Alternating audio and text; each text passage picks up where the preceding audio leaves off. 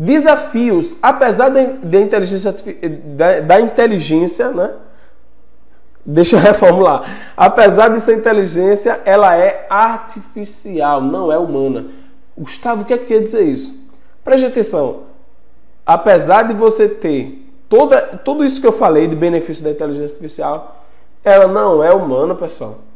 Se eu fosse falar aqui só do cérebro humano, eu ia falar de bilhões de células, de milhões de conexões neurais que existem. Eu ia falar de intuição, eu ia falar de tanta coisa. Por quê? Porque o ser humano, ele é a máquina mais complexa que existe. Se você pegar uma célula de uma ameba, isso já foi até estudado pela ciência, é uma complexidade absurda. Uma célula só. Imagine o nosso cérebro.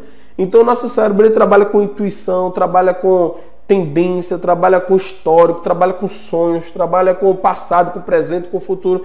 Então, nosso cérebro ele é complicado. E a característica mais complicada para a inteligência artificial reproduzir se chama intuição. Intuição é algo da gente, do ser humano, tá? Então, Muitos desenvolvedores, né, eles devem buscar deixar essa ferramenta mais natural possível. Eu coloquei exemplo a intuição, mas é complicado, tá? É muito complicado você traduzir isso.